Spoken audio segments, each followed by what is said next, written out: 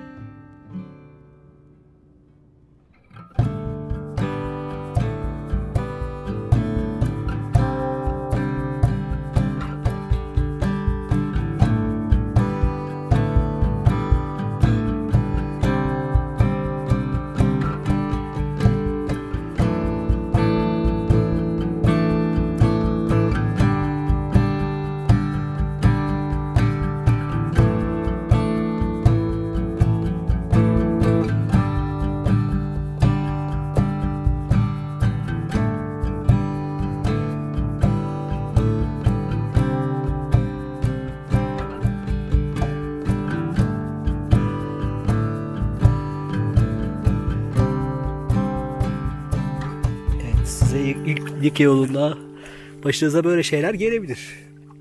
Gelmemesi için Gelmemesi için ne yapmanız gerekiyor aslında? dikkatli ve yanınızda her zaman bir ilk yardım çantası bulundurun. Kazazedemiz bu durumun içindedir. Evet. Terliksiz ıslak yerlerde gezmeyin. Aptallık etmeyin. Çok soğuk su buldum diye çok sevinmeyin.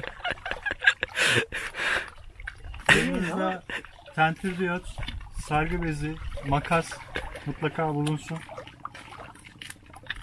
Kendi kendinize tıbbi müdahale yapmak durumunda kalabilirsiniz. Basit tıbbi müdahaleler. Tabii bunun için becerikli olmak lazım. Bunu kesebiliyor olmak. Önemli olan şeylerden bir tanesi de bu. Kesebilmek. Yola çıkmadan önce nasıl dikiş atılır? Nasıl sargı bezi sarılır? 8 sargı bezi, 8 sargısı nedir? Ne değildir? Bakın şimdi şuradan gazlı bez. Önce şununla bir kez daha göstermek için yapabiliriz. Tentürlüyor. Veya şöyle kapatıyoruz. Sonra sargı bezini bulmamız lazım. Olmadı. Beynim dondu.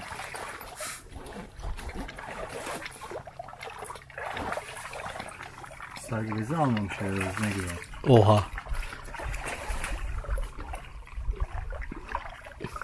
Şunlar da saracağız o zaman.